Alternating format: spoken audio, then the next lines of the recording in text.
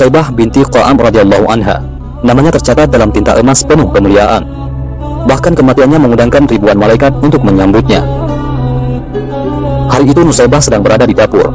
Sedangkan suaminya, yaitu Sa'in, sedang beristirahat di bilik tempat tidur. Tiba-tiba terdengar suara gemuruh bagaikan gunung-gunung batu yang runtuh. Nusaibah menerka, itu pasti tentara musuh. Memang, beberapa hari itu ketegangan memuncak di kawasan Gunung Uhud. Dengan bergegas, Nusaibah meninggalkan apa yang sedang dilakukannya dan masuk ke bilik. Suaminya yang sedang tidur dengan halus dan lembut dikejutkannya. Suamiku tersayang, Nusaibah berkata, Aku mendengar pekik suara menuju ke Uhud. Mungkin orang-orang kafir telah menyerang. Sa'in yang masih belum sadar sepenuhnya tersentak. Dia menyesal, mengapa bukan dia yang mendengar suara itu, malah istrinya. Dia segera bangun dan mengenakan pakaian perangnya. Sewaktu dia menyiapkan kuda, Nusaibah menghampiri. Dia menyodorkan sebilah pedang kepada Sa'in. Suamiku, bawalah pedang ini. Jangan pulang sebelum menang, kata Nusaibah. Sa'in memandang wajah istrinya. Setelah mendengar perkataannya itu, tak pernah ada keraguan padanya untuk pergi ke medan perang. Dengan sigap dinaikinya kuda itu, lalu terdengarlah derap suara langkah kuda menuju ke utara. Sa'in langsung terjun ke tengah medan pertempuran yang sedang berkecamuk. Di satu sudut yang lain, Rasulullah melihatnya dan tersenyum kepadanya. Senyum yang tulus itu semakin mengobarkan keberanian Sa'in. Di rumah, Nusaibah duduk dengan gelisah. Kedua anaknya, yaitu Amar yang baru berusia 15 tahun dan Sa'an yang dua tahun lebih muda, memperhatikan ibunya dengan pandangan cemas. Ketika itulah tiba-tiba muncul seorang penunggang kuda yang nampaknya sangat gugup. Wahai ibu, salam dari Rasulullah, berkata si penunggang kuda. Suami ibu, Sa'in baru saja gugur di medan perang. Beliau syahid.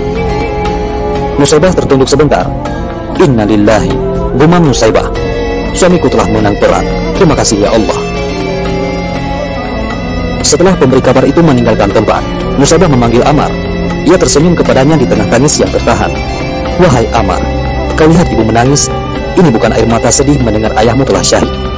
Aku sedih karena tidak memiliki apa-apa lagi untuk diberikan bagi para pejuang Nabi. Maukah engkau melihat ibu bahagia? Amar mengangguk, hatinya berdebar-debar. Ambillah kuda di kandang dan bawalah tombak. Bertempurlah bersama Nabi hingga kaum kafir terhapus, kata Nusaibah.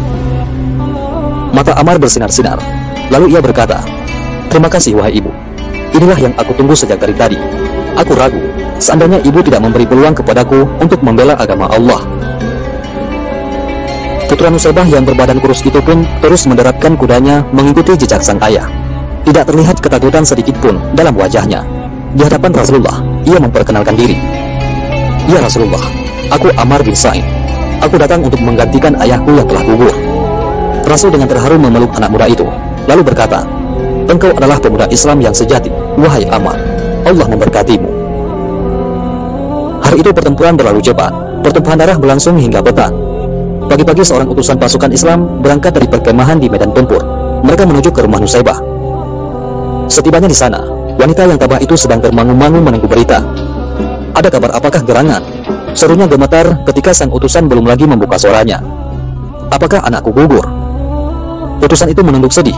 Betul. Innalillahi. Nusaibah bergumam kecil. Ia menangis. Kau berduka, ya Ummu Amar? Tanya si penunggang kuda itu. Nusaibah menggeleng kecil. Tidak, aku gembira. Hanya aku sedih. Siapa lagi yang akan kuberangkatkan saat masih kanak-kanak? Jawab Nusaibah. Mendengar itu, saat yang sedang berada tepat di samping ibunya, lalu berkata, Wahai ibu, jangan remehkan aku. Jika engkau izinkan, aku akan tunjukkan bahwa Sa'an adalah putra seorang ayah yang gagah berani. Nusaibah terperanjat. Ia memandang putranya. Kau tidak takut, nak?